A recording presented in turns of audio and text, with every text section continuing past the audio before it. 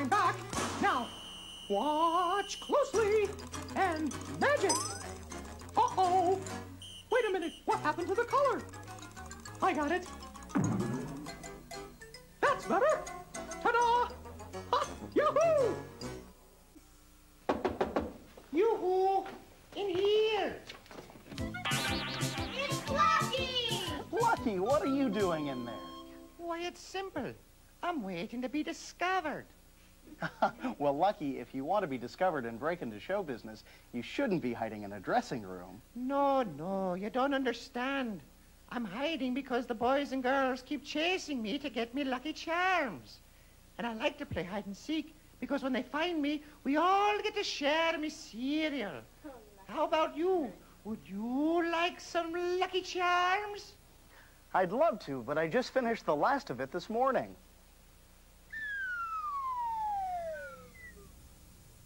But I can use this empty box to show you another great magic trick that the kids wanted to learn. You can learn too. You know, sort of magician to leprechaun.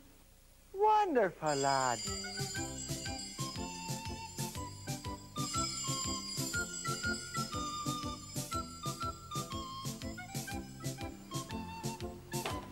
Hey! How do you do that? Now, this may be an empty box, but there's still a lot of magic inside. I bet. Look, kids, there's me pictured on the box. Hey! now, watch closely. We begin by closing the bottom flap, and then close the top flap. And then we say the magic words. Lucky Charms. Take a look. Oh, pink like hearts. Oh, orange like stars. Yellow, green, blue, purple. All the colors of the rainbow. That's great. Oh, Mr. Magician, that's one even I haven't seen. It sure looks like magic, doesn't it? Now, would you like to learn how to do this trick? Uh-huh. I sure would. Me too. Okay, now let me show you how that Lucky Charms cereal box production trick works. I'll show you the finished box in just a moment, but here's what we have to do in order to make the box up. First of all, we begin with two boxes that are exactly alike. Now, from the first box, what I do is take a pair of safety scissors and separate the bottom flaps. There's glue holding it together, so separate the bottom flaps. That way, you can fold the box completely flat. I've also removed the very top flap, the one where the other end tucks under. You won't be needing this for the trick at all. Once you've cut off the top flap and flattened out the bottom, put this part aside and go to the other box that you're going to be using. This part is a little trickier because what you're going to do is trim off the front panel of the box, but it's very important that you leave a border about a half an inch around the two sides and the bottom. Now this border, I painted yellow just so you can see here. You don't have to do that, of course, but that is to show you where you place some glue. Now this is ordinary glue that I would place along the two edges and across the bottom. Now be very careful not to get any excess glue on the bottom or the back of either of the boxes. Once the glue is in place, carefully bend those flaps down and position it over the front of the other box. Now, it's a good idea to have somebody help you with this because you can use a few extra hands. Once it's in position, you place it down. Then it's a good idea to place something on top of it just to help weight it down. I'll use a couple of books in this case.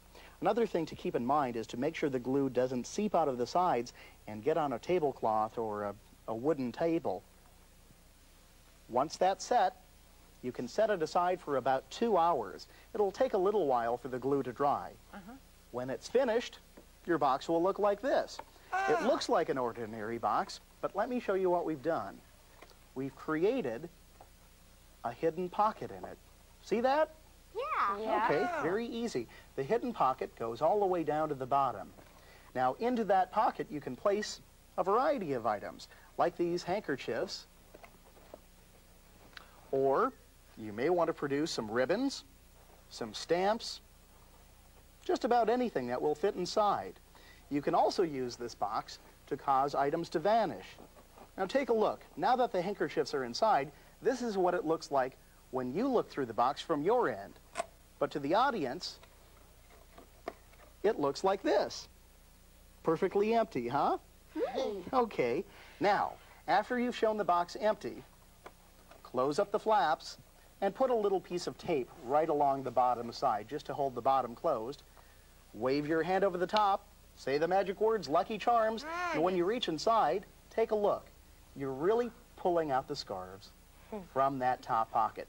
That's kind of a fun trick, isn't it? Yeah. An amazing and colorful trick. Now, it's a fairly simple trick, but we've been doing a lot of tricks today. Let me ask you, of all of the tricks in magic, which one is your very favorite? I like when people appear from nowhere. I like it when they disappear.